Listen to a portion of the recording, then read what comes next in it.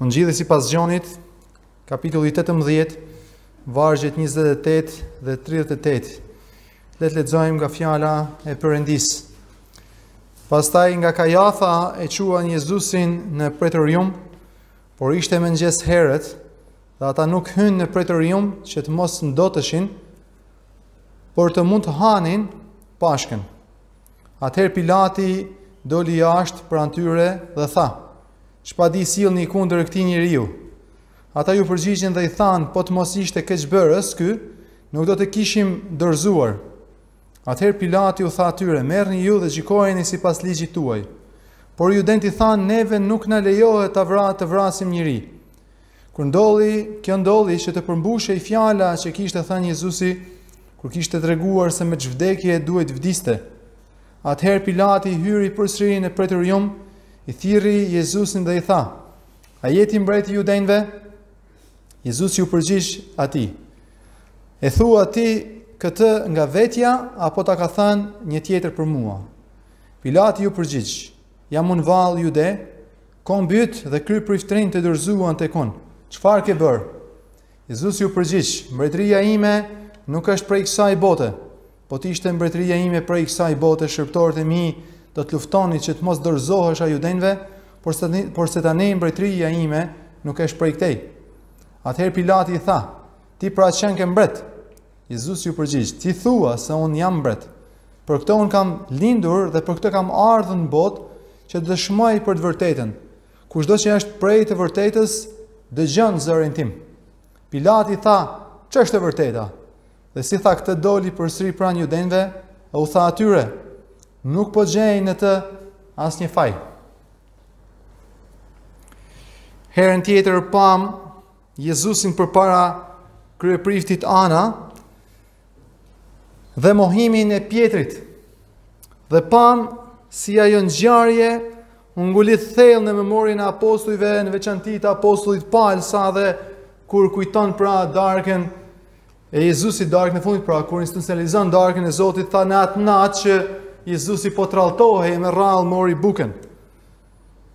Dhe të gjithë ne që e lexuam, e lexuam herën tjetër këtë histori, ajo histori gjithashtu ngelet në mendjen tonë. Sepse ajo histori si thashë, ai personazh pikërisht Pjetri identifikohet me ne. Mohimi i tij identifikohet dhe ka të bëjë gjithashtu me mohimin tonë që i bëjmë Zotit Jezus Krisht. Shpesh herë, sa herë që nuk i bindemi atij, sa herë që nuk qëndrojmë në të vërtetën e tij, Sa herë që nuk qëndrojmë në qendër të vullnetit të tij. Sot do të shikojmë se si krerët fetarë, pra do të shohim sot Jezusi dërgohet nga krerët fetarë, dërgohet përpara Pilatit për t'u gjykuar. Sot do të shikojmë se si krerët fetarë e dorëzojnë Jezusin tek Pilati, që ishte qeveritari, guvernatori Romak i krahinës së Judesë.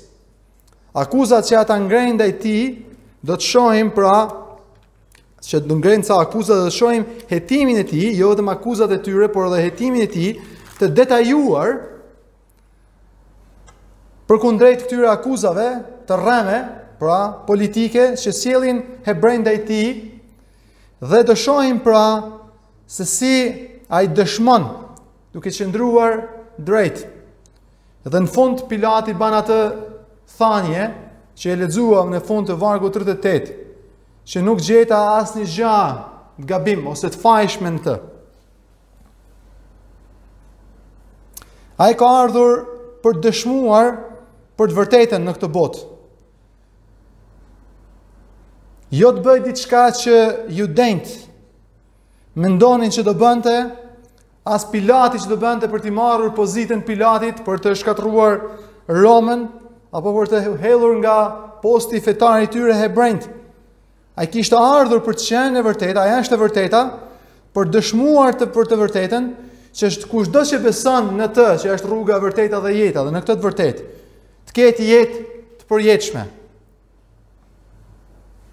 Ndaj kushdo që e dëgjon të vërtetën, e dëgjon zërin e tij, ashtë në të vërtetën e tij, merr shpëtimin prej tij.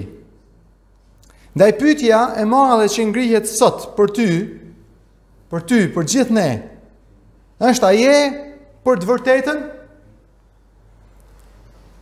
Dhe nëse po, a po e dëgjon zërin e Jezusit, a i përket ti atij, Jezusi ma herët tek Gjoni 10 ka thënë që delet e mia e dëgjojnë zërin tim. Dhe e ndjekin, më ndjekin mua. A i përket ti atij, a je ti i blerë prej tij, i mbretëruar prej tij, i zotëruar prej tij, a i përket ti atij. Nuk po pyesim sot a shkon në kishë, Nuk po pyesim a ke një Bibël në shpi. As nuk po pyesim apo i feston Krishtlindjet apo festat fetare.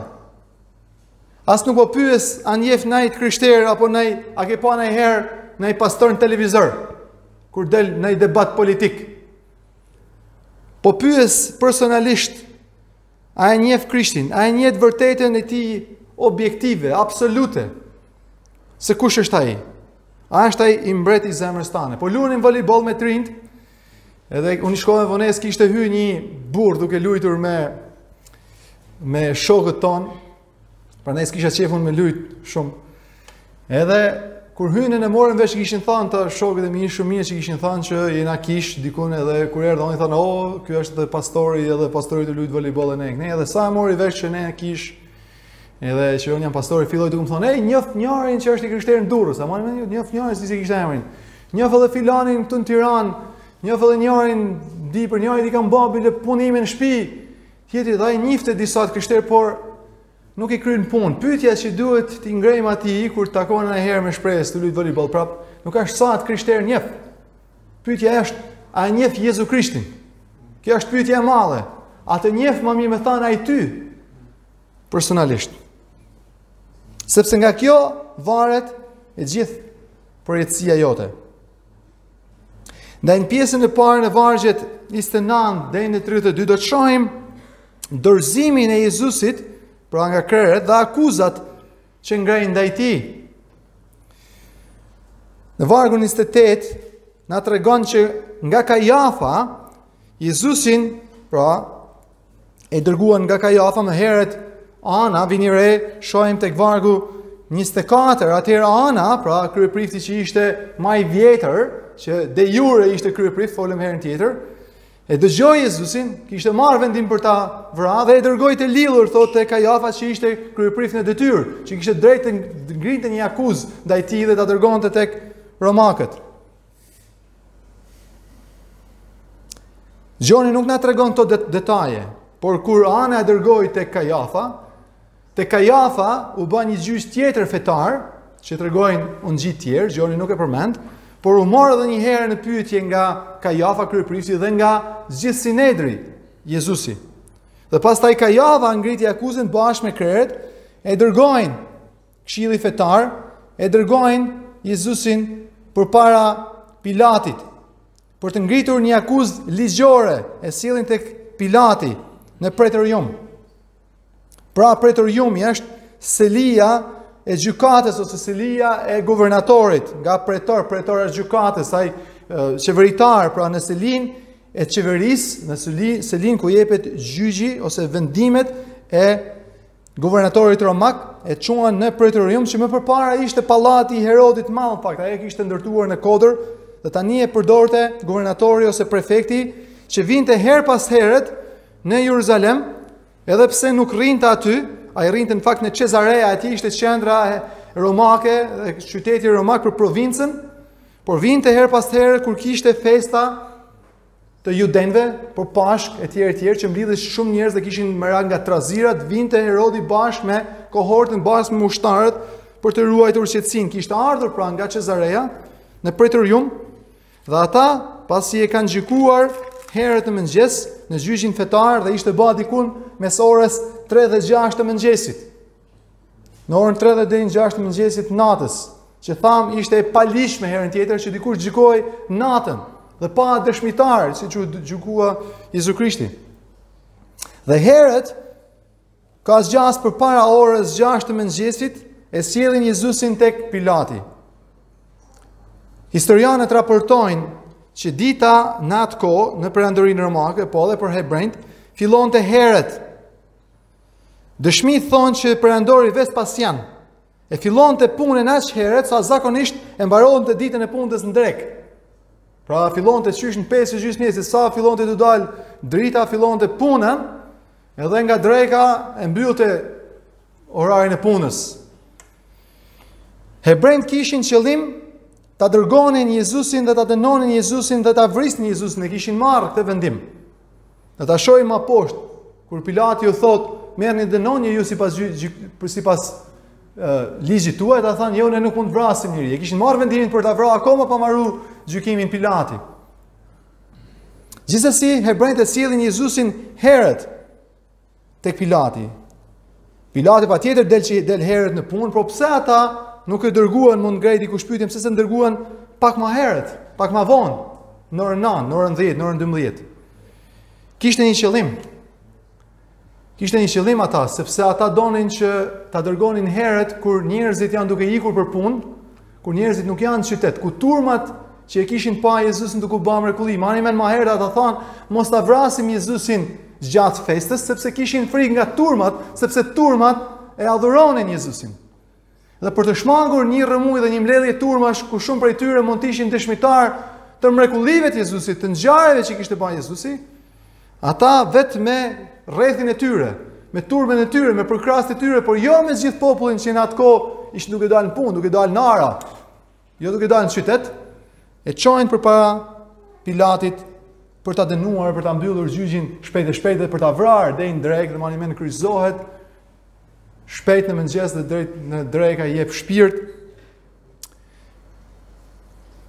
Tani vini re një detaj që duhet t'i kushtojmë vëmendje se mund të mësojmë shumë prej këtij detajit. Vini re, ata thotë nuk hynë, vini re vargu 28 jemi akoma. Ata nuk hynë në pretorium që të mos ndoteshin që të hanin pashkën. Pra që të jenë të pastër për të kujtuar Pashkën. Ata pretoriumi ishte vendi i Herodit. Herodi ishte romak, ishte pagan. Ata kishin ndërtuar një fe që sa më shumë për të qëndruar të pastër, të shenjtë, mos me u përly, mos me u afru ata as nuk hynin në shpiat e paganëve. Meqë jemi në prag të festës, Pashkës, mbani mend, Jezusi është mbledhur me dishepujt e tij për të hangër për të ngrënë Pashkën, atë natë Dhe qengji therej atë drekë kur ther kur Jezusi kryqëzohet për të hangër qengjin e Pashkës për të kujtuar Pashkën dhe ishte një javë festë e Pashkës. Ata nuk donin të baheshin të papastër së jashtmi nga ana ceremoniale që të mund të merrnin pjesë në Pashkën, pra në festën në në, në therjen e qengjit, në në në, në marrjen e qengjit, të ushqyerit nga qengji që therej për Pashkë edhe gjatë gjithë festës. Tani ça ishte kjo qengj dhe pashka, kjo festa që po festonin këta? Pashka bëhej çdo vit, në kujtim të pashkës së parë, që ndodhi kur Perëndia çliroi popullin e Izraelit nga Egjipti. Mbani mend 10 plagët, nëntë plagët e para, me radhë mështë dhe plaga e 10, ishte që për ta liruar mbreti, faraoni, popullin për dalë, Perëndia dërgon një plagë, Thotë do të vdesin të gjithë të paralindurit në mbretërinë, në Egjipt, përveç atyre që do të therin qengjin, populli i Izraelit, dhe me gjakun e qengjit të pashkës do të lyejnë shtalkat dhe portat e tyre, dhe kur të vijë engjëlli i vdekjes, kur të shohin gjakun, do të mbikalojë dhe do të vrasë të gjithë ata që nuk kanë qengjin e pashkës. Pra kujtonin qengjin e pashkës përmes gjakut qengjit të pashkës për të cilin mbikaloi engjëlli dhe u shpëtuan fëmijët e Izraelit dhe pastaj ikën nga toka e premtuar. Ndërkohë pra që ata duan të jenë të pastër, ja këtë, së jashtmi, në mënyrë ceremoniale,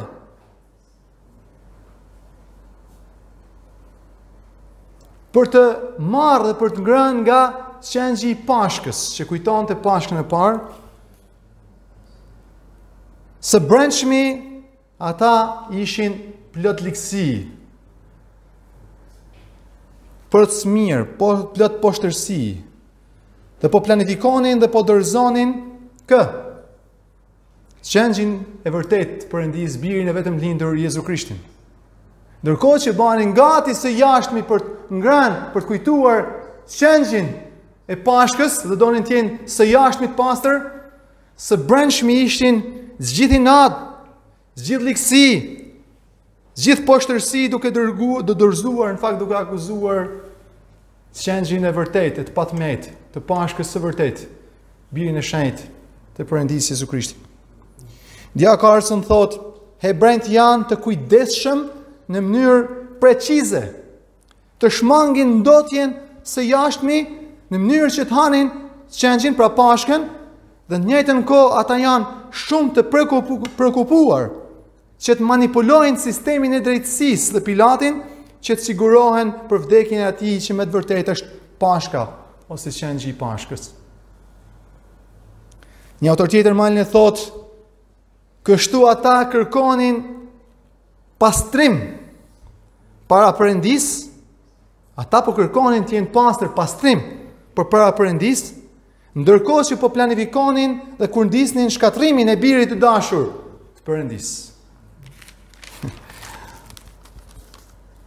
Marro një autor tjetër thotë, në zellin e tyre për të ngrënë qengjin e Pashkës, ishin aq të zellshëm për të kujtuar Pashkën aq fetarë, aq përkushtuar fetarisht. Në zellin e tyre për të ngrënë qengjin e Pashkës, ata në paditurinë e tyre po ndihmojnë për t'u përmbushur domethënia e vërtetë, duke kërkuar vdekjen e qengjit të Perëndisë.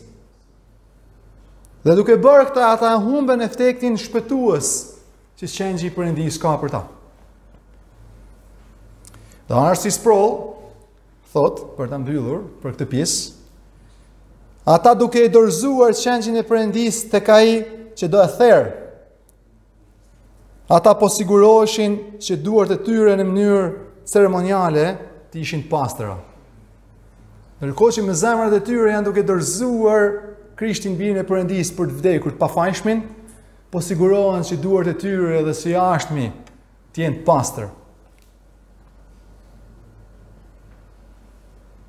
Pra duar të pastra Na duhen duar të pastra, së jashtmi të pastër, fetarisht të pastër nga jashtë, ndërkaq që zemra qëndron në mëkat, që zemra qëndron në zi, që zemra qëndron në, në vdekje.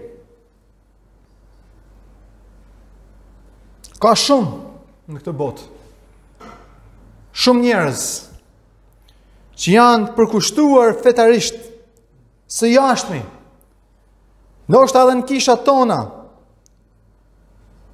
ndoshta në mesin tonë, kemi disa prej nesh, dhe kjo është tragjedia që luhet, dëgjoni këtë, se mund të jesh gabimisht rastësisht, Një prej tyre.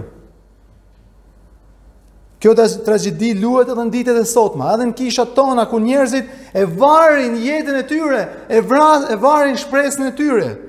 Tek përmbushja e riteve fetare, për të lehtësuar ndërgjegjen e tyre para Perëndisë, ose për të fshehur gjendjen e tyre të vërtetë para njerëzve. Vijnë kishë në mënyrë ceremoniale shumë bukur, në rregull, korrekt, i përgjigjen së jashtmi çdo ceremonie të kishës së fetare e rregullit. Duke menduar që ne të tjerë që jemi afër tyre, nuk e kuptojmë se kush janë ata. Për të na u fshehur ne njerëzve apo për të qetësuar ndërgjegjen e tyre përpara Perëndisë që në fakt i njeh më së miri zemrat e tyre, zemrat tona. Rituale të zbrazta, që edhe këto rituale të zbrazta mund të shfaqen në mesin tonë. Rituale pa kuptim që ti i bën nuk e din pse po i bën. Ndalu dhe mendoje veten, shikoje veten. Për çfarë e bën atë që po e bën? Po e bën për të fituar një favor të Perëndisë, për të mbuluar ose për të larë ndërgjegjen tane përpara Perëndisë? Apo e bën për shkak se je falur, je blerë, je çliruar, je shpëtuar prej Perëndisë. Rituale të zbrazta mund të kthehen pagëzimi. Ti mund të pagëzohesh. Mund të jesh i pagëzuar. Mund të marrësh pjesë në darkën e Zotit. Mund të marrësh pjesë në darkën e Zotit. Mund të marrësh pjesë në adhurim, edhe ndoshta knon bukur, ma bukur se ne të tjerët. Ndoshta ti lutesh gjatë, edhe din t'i zgjedhësh fjalët. Ndoshta ti jep para për kishë ndoshta jep më shumë edhe se të tjerët. Por asnjë nga këto Nuk na shpëton. Vëllezër motra, asnjë nga këto nuk na shpëton as kryen punë. Përkundrazi në fakt këto gjana pa një zemër të rilindur dhe të pashpëtuar, kthehen në të kundërtën tonë, janë mëkat. Sepse bëhen për të manipuluar, për ta ashtuquajtur manipuluar Perëndinë, të shku si të shku në doganë, për m'i fut diçka në dorë doganjerit me të kalu përtej. Po të jap ca lutje, kjo gja që duket e mirë së jashtmi në fakt ashtë e ndyrë, ashtë e padenjë, ashtë e padashur, e papëlqyeshme në fakt e urrejtshme nga Perëndia. Sepse zemra me të cilën po e ban atë lutje, po e ban atë rit, po e ban atë gja, ashtë larg, është si këta farisenj që duan të rrinë të pastër nga jashtë, por në fakt janë kundër birit Perëndisë së brendshmi. Kur zemra jote nuk është e dhanë, plotësisht, jo pjesërisht, jo një copë, jo një ishull i zemrës tane, jo 80%, jo 90%, jo 99% e zemrës tane, kur zemra jote nuk është e dhanë, plotësisht, kur ajo nuk është e rilindur, kur ajo nuk është e gjallëruar, e ripërtërirë, nga shpirti i shenjtë, dhe dhanë plotësisht dhe vazhdimisht Krishtit, Dhe ai nuk mbretëron dhe nuk zotëron zemrën tane, atëherë gjithë çka që ti bën për të ashtë e shumëzuar me zero, në fakt, duhet me shumëzu me minus, ku do me dalë ma keq, me dalë minus, bile. Me dalë keq. Feja dhe ritet fetare, Feja dhe ritet fetare, po të ishte se do shpëtonin dikën, do të shpëtonin këta që dorëzuan Jezu Krishtin, se këta ishin të merakosur as mos me fut pak këpucën dikun që është një vend i papastër, kaq shenjtë ishin. Kaq fetar, kaq të drejtë, kaq të pastër. Se nëse do kishte shpëtuar dikën feja dhe ceremonitë së jashtmi, do kishin shpëtuar pikërisht këta që dorëzuan birin e Perëndisë për ta dërguar në vdekje, por jo. Por jo, ty, ty, as ata, ose ty si ata, se mund të jesh si ata jo në atë kuptim që kështu por në një kuptim tjetër. Ty as ata, por ty si ata, feja kurrë apo ritet fetare nuk do të shpëtojnë. Ato nuk kanë dërguar kurrë dikë në parajsë. Kurrë nuk e kanë dërguar dikë në parajsë. Vetëm Krishti që vdiq si qengji i patëmetë si biri i Perëndisë, i pafaj në vendin e mëkatarëve, në vendin tim, në vendin tënd, mund të japë shpëtim. Tani imagjinoje çfarë gjendje t'randë jam unë. Ka shkuar gjithë koha jam në vargun e parë. Kemi kemi me shku, duhet me shku te vargu 38. O, medet për ne. Për mua se ju jeni pasha. Ha. Mund të rrinim prapë tek vargu i parë. Vargu 29, atëherë Pilati, në tjera fjalë t'ndalna pak këtu. Ndal edhe herë këtu sa shumë rëndësishme. Të lutem, shikoje veten tane, se mund t'jesh korrekt, vjen në kishë, po mund t'vish në kishë për arsye të gabuar, jo për të pa Krishtin, jo për të gjetur Krishtin, jo për të njohur Krishtin, jo për t'u kënaqur për Krishtin. Mund vish për të këqyr anash, ça bani kjo ça tha, si bani kjo ça hangrën, ça pinë, ça u zhvillu, ça u ba, mund të honë basësh në sërë, në gjërë, gjërësinë dhe në madhësinë e gjërave që ne bajmë, ne bajmë gjëra shumë të mira, vëllezër, motra kam thënë disa herë, Ne kemi predikim t'mirë, ne kemi studim t'mirë, ne bajmë volejboll, ne bajmë aktivitete, ne bajmë koktej, ne bajmë konferencë, ne bajmë kamp, ne bajmë libra, ne bajmë gjithçka. Dhe mund të jesh gabimisht në kishën tonë për këto gjana. Kjo s'është arsyeja fare për çka je në kishën tonë, nëse je për këto se je kapur dikun mas tyre ose je ngatërruar dikun rreth atyre. Je gabim. Ne jemi këtu dhe kisha është ata që janë të blerë me gjakun e Jezu Krishtit të shpëtuar prej tij i përkasin atij vëllezër e motra në të e prej tij gjithsesi mos ndalem ma atje Atëherë Pilati doli jashtë, meqë ata nuk hynin brenda, vini re se ata ishin pastër shumë, e nuk hynin brenda dot, atëherë del Pilati jashtë tek ata, herën tjetër do të flasim pak për Pilatin, se jemi keq pra siç thashë me kohën, do të dhe skinin këtë, por Pilati, nuk është se shkonte aq mirë me krerët fetarë, Nuk shkonin, nuk asht ai shkonin aq mirë që erdhën ata dhe Pilati ish i gëzuar që takuan. Jo, në fakt ishin edhe me Pilatin ishin gërr-mërr, do ju tregoj pak herën tjetër, mos, mos mungoni kur predikoj herën tjetër nga Gjoni, është interesante.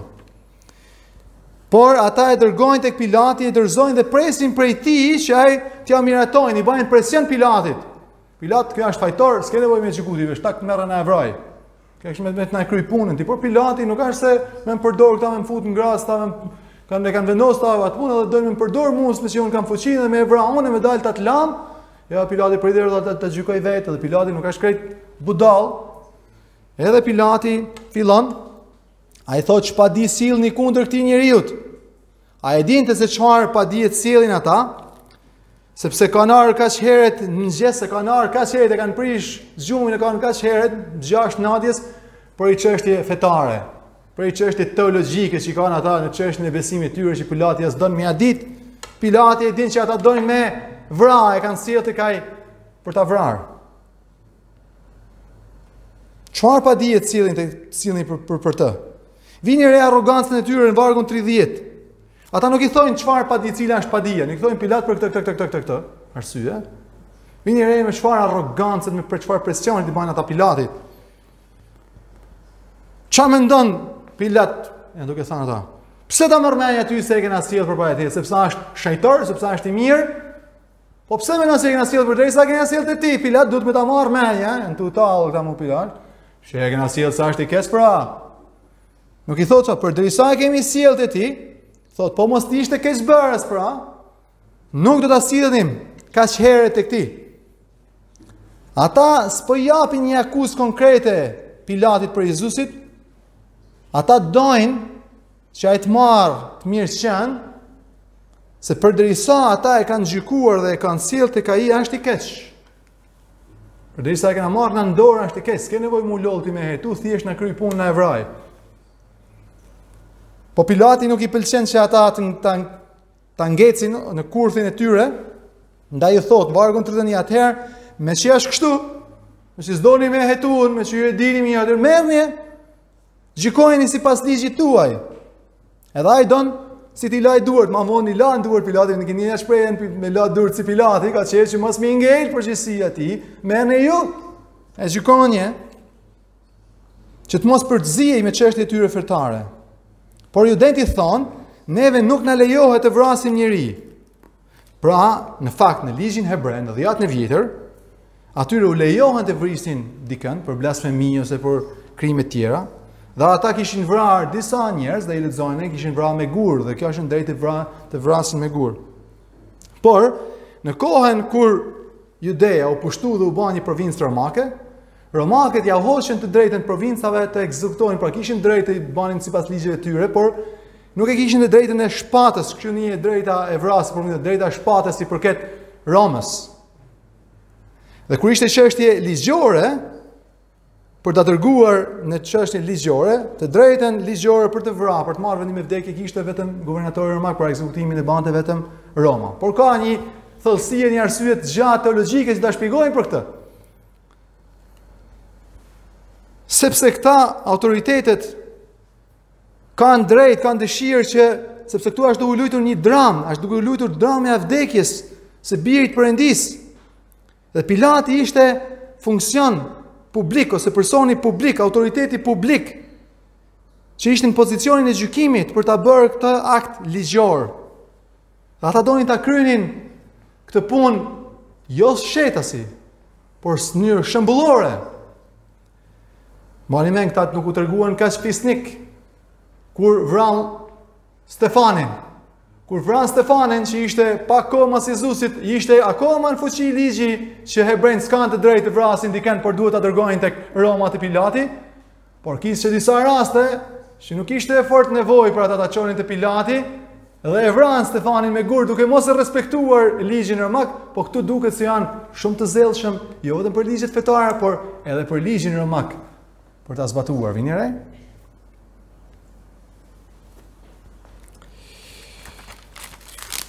Po pse gjithë kjo? Pse Vargu 32 na shpjegon. Në rastin e Stefanit, siç thashë, ata nuk kërkuan, e vranë me gurë. Kishte disa arsye, por e para që duhet bëhej, ishte se duhet të bëhej një gjyq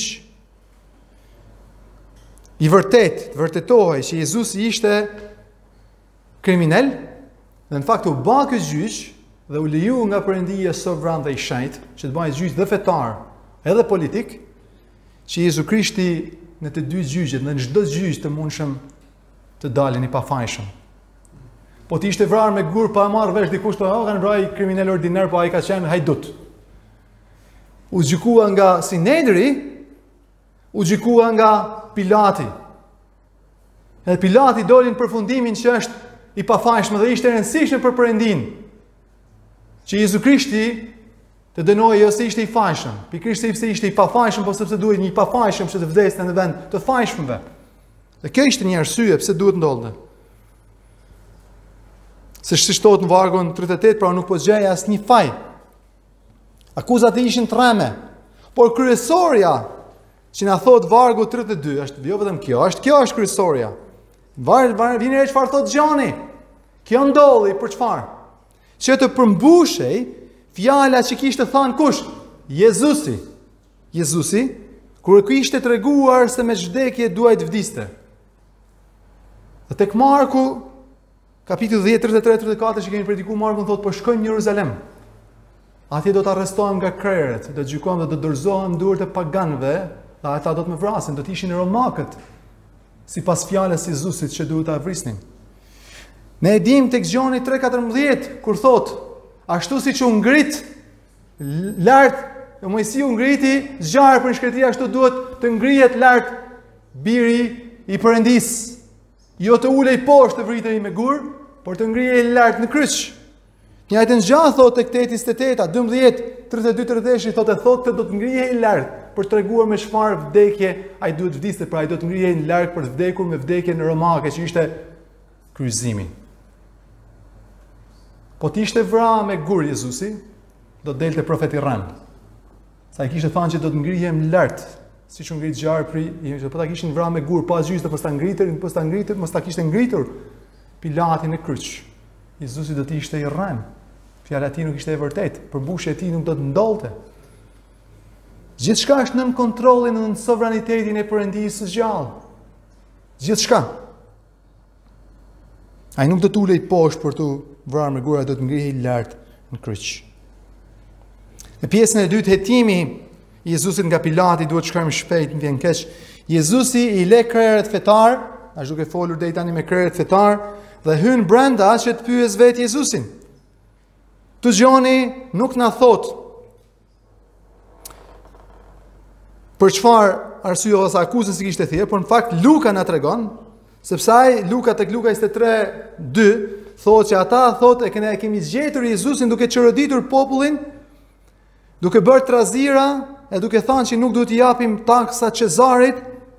dhe se është mbret. Në fakt e kundërta është e vërtetë. Jezusi tha t'i paguajmë taksat e pagoi edhe për vete edhe për Pjetrin, marrim atë rastin me peshkimin, nuk është e vërtetë fare. Gjithsesi, tek 33-shi ndaj Pilati e pyet, a je ti mbret i judenjve? Jezusi nuk iu përgjigj me një po ose me një jo, vini re. Por ai don të dijë në çfarë kuptimi po e thotë Pilati, a e ka kuptuar dhe pse pyet Pilati nëse ai është mbret. Vini re Jezusin. Tani po kthehet dhe pyet Jezusi Pilatin, jo Pilati Jezusin. Pra Jezusi pyet, nëse Pilati po pyet në kuptimin politik të fjalës, pra nëse po pyet a po më sfidon Jezus, pra ti je mbret dhe po më sfidon mua si guvernator, si qeveri romake, që do të na hedhësh poshtë Romën? Apo po më pyet që a je mbreti Mesia Krishti i caktuar i Perëndisë dhe këtë Jezusi nuk e mohon. Pilati me zgjuarsi në vargun 35 thotë Pilati me zgjuarsi përgjigjet jam unë vallë jude Unë jam romak. S'më intereson kush është mbreti i judenjve fare. Pra nuk është çështje që unë kam ngritur një çështje ndaj teje, thotë Pilati, sepse u kërcnova nga ti, se ti je mbreti i judenjve dhe më merr postin dhe është çështje politike, jo mor jo fare. S'është çështja ime fare. Në fakt, krerët e tu fetarë, liderët tuaj, kombi yt, më dorëzoi tek unë. Dhe vini re i bën pyetjen, çfarë ke bërë? Çfarë ke bërë? Vini re përgjigjen e Jezusit. Jezusi nuk po thotë që pushteti dhe autoriteti i tij nuk i përkasin kësaj bote. Tek Mateu 28:18 thotë mua më është dhanë çdo pushtet në qiell dhe në tokë, shkoni bëni etj etj. Por ça po thot ai, ai thot po i thot Pilatit, mbretëria ime nuk është një mbretëri si e jotja. Ajo nuk e konkuron me tënden, nuk jena në konkurrencë, kush e merr mbretërinë unë a ti, kush është më i fortë, kush ka më shumë ushtar, kush ka më shumë tanke, do jem unë në fron, do jesh ti në fron për këtë punë. Po ta marrim kuptimin ushtarak. Mbretëria ime do ishte më e fuqishme, të mitë do kishin luftuar për të. Por mbretëria ime është duke thënë Jezusi nuk është si e jotja. Roma ishte gjakatare, Pilati ishte gjakatar. Mbretëria ime nuk është e dhunshme. Nuk është fituar me gjak, as nuk është fituar me luftë. Kjo është mënyra se si ngrihen mbretëritë tokësore. Mbretëria ime nuk është një mbretëri si ajo tokësore. Ai s'po planifikon të bëjë një mbretëri tokësore që të heqë pushtetin romak, apo atë të, he, të hebrejnve, po ai në të vërtet është mbret, dhe është mbret, mbi gjithçka. Dhe Jezusi dhe thot pastaj te 37-a, pra ti qenke mbret, ose je mbret, Jezusi thot ti po thua, ashtu ashtë, siç po thua ti, se unë jam. Duke mos e mohuar. Dhe jo vetëm se jam, vini re ça thot Jezusi, jo vetëm se nuk e mohon që është mbret, por thot për këtë kam lindur dhe për këtë kam ardhur në botë për të dëshmuar për të vërtetën, për mbretërinë time. Vini re deklaratën e tij, Thot për këtë gjë, un kam lindur si njeri, vini re thot kam lindur në këtë, kam lindur. Thot dhe një fjalë tjetër, kam ardhur në botë, janë dy fjalë aty, nuk thot vetëm njërën. Pse thot edhe kam lindur, edhe kam ardhur në botë. Jezusi po thot këtu, po flet këtu për dy natyrat e tij. Natyrën e tij njerëzore, un kam lindur në këtë botë si njeri, jam bërë njeri. Por për këtë arsye kam ardhur Sepse kam para ekzistuar, kam qenë përpara se t'lind, kam qenë bashkë me Atin, por kam ardhur si hyjni jam bën njeri dhe kam hyrë në këtë botë për të jetuar. Pra dëshmon për dy natyrat e tij, hyjnore dhe tokësore. Dhe kushdo që është prej së vërtetës, thot Jezusi, e dëgjon zërin tim. E thash, Gjoni 10-27, thot delet e mia dëgjojnë zërin tim, unë i njoh ato, ato më ndjekin. Unë jam rruga e vërteta dhe jeta, ka thanë Jezusi. Vini re Pilati në vargun 38 në fund Pilati si një postmodernist i vërtet. Pilati se ne themi postmodernizmi ka lind në shekullin e 21. Kur e vërteta është relative, çka është e vërtetë për ty, nuk është e vërtetë për mua. Un kam vërtetën time, ti ke të vërtetën tane, e ke ngjuar këtë? Çmendem, çmendem fare, se don me e kuptu kulturën postmoderniste dhe çfarë luhet, çfarë budallëku luhet. Shikoni Eni Vasilin në emisionin e saj ose Sokol Ballën, janë në debat ata, janë duke bën ngrenë një pyetje për diçka, për një dokument që është për një gjë që është në dogan, që o, o, o është o s'është ajo. A ka dalë kjo letra nga urdhri nga kryeministria? Jo, thotë ky nuk ka dalë. Thotë ky ka dalë, ka dalë, thotë tjetri. Po prit më i thotë kjo ndërhyn moderatori i mesmi. Po prit, a tha ti, kjo është e vërteta jote. Po le të dëgjojmë vërtetën e këtij, se ky ka të vërtetën e vet. Si tash e vërteta e këtij dhe tash, o letra o ka dalë, o s'ka dalë. Po postmodernizmi thotë ky ka të vërtetën e vet dhe mendon se s'ka dalë, ky ka të vërtetën, asnjë as tash të vërteta. Imagjinoje po ta aplikosh Unë s'e kuptoj si e kanë marrë këta patentën. Fali pak e si e kanë marrë patentën këta postmodernistat. Si e marrin sot patentën postmodernistat që mendojnë se e vërteta e ime, s'ka rëndësi çfarë mendon ti, unë kam vërtetën time. Kur shkon provim patentës, dhe tash është bërë me tre gabime ngel. Thot aty, a duhet të hysh të kalosh me semafor të kuq? Edhe ai shkruan thot, po mor, patjetër kështu më pëlqen mua, kjo është e vërteta ime. A duhet të bësh aksident? Po mor, unë kam qejf t'ju bi makinave. Imagjinoje po t'i, po t'i plotësosh pyetjet në provimin e patentës sipas mënyrës postmoderniste që ti ke të vërtetën tane. Nuk e merr asnjë patentën. Sepse kur je në semafor të kuq, nuk ashtë se çfar të pëlqen ty, duhet të ndalësh. Se kjo është e vërtet, objektive dhe absolute, e vendosur dhe do ta respektojnë të gjithë, nuk është se ty s'të pëlqen e kuqja, ose të pëlqen e kuqja dhe kur shef të kuqen ti ngaqë je i dashuruar, ti vetëm ia shkel gazit, sepse edhe kur ja fut me të kuqe, se ty të pëlqen e kuqja, mo vlla. Ç'rëndësi ka që tjerët janë duke futur me jeshil në anën tjetër, ty të pëlqen e kuqja. Kupton ku do shkoje me këtë parim? Në varr. Edhe në ferr. Nëse s'ishe besimtar. Pilati është po- postmodernist. Ai tha, çfar është e vërteta, në mënyrë tallëse, nuk asht se po e ban pyetje, se të lërë, o Jezus, ti je për të vërtetën, lëne atë muhabet, hajde të ulemi një herë, më trego. Trego kush është e vërteta, ta njof, ta kuptoj. është duke u tallur si një postmodernist, Sa të vërteta, sa opinione kanë ardhë te Pilati, jo unë mendoj kështu, ai më ne, e, ha, tanë kanë të vërtetën e vet, thotë Pilati, ça është kjo e vërteta? Dhe ai nuk priti për përgjigje. S'po pyeste që ta dinte. Ishte skeptik. O, ju gjithë keni të vërtetën tuj. Kush është e vërteta me të vërtetë? A ka një të vërtetë objektive? Apo e vërteta është subjektive. Simas tekës teme, si të më pëlqejë mua, si të ma marri menja mua. I Pilati nuk ishte interesuar te e vërteta që po dëshmon Jezusi. Vetë largimi i tij Për mos ta dëgjuar përgjigjen e Jezusit. Tregon që ai nuk don ta njohi të vërtetën, nuk ka interes për të vërtetën, që ai nuk është prej deleve të Jezusit, që ai nuk e dëgjon zërin e Krishtit së brendshmi. Nuk i takon atij. Dhe e fundit fare në në fund të vargut 38 shpallja e vendimit, që është më shumë interesante dhe më e rëndësishme.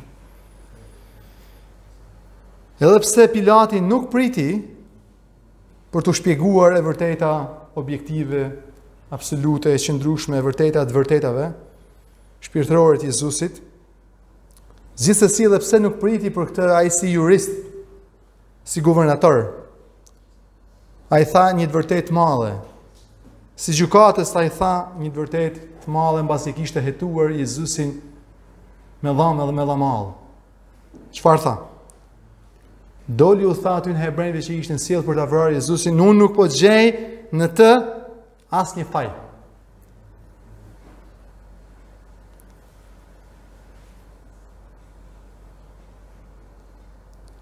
R.C. Sproul thotë, Nuk ishte se Pilati nuk gjeti asnjë faj tek Jezusi sepse nuk shikoi mirë, sepse nuk hetoi mirë, sepse nuk e pyti me vëmendje.